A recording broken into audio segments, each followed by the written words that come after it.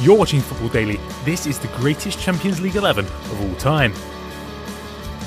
In goal is Iker Casillas. A two time winner, Casillas is the most capped goalkeeper in the competition's history. At right back is Carlos Puyol, who won the Champions League three times as part of a Barcelona team hailed as one of the greatest club sides of all time. At centre back is Paolo Maldini. The AC Milan legend has played in six Champions League finals, lifting the trophy three times.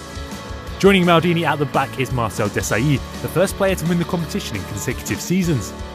At left back is Roberto Carlos. A three time winner, Carlos is one of only three players to play more than 10,000 minutes in the Champions League.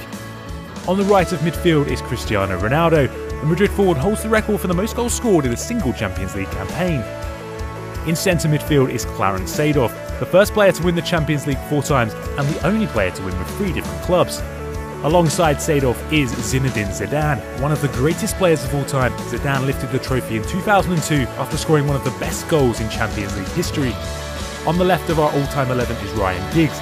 The two-time winner holds the record for the most appearances in the competition.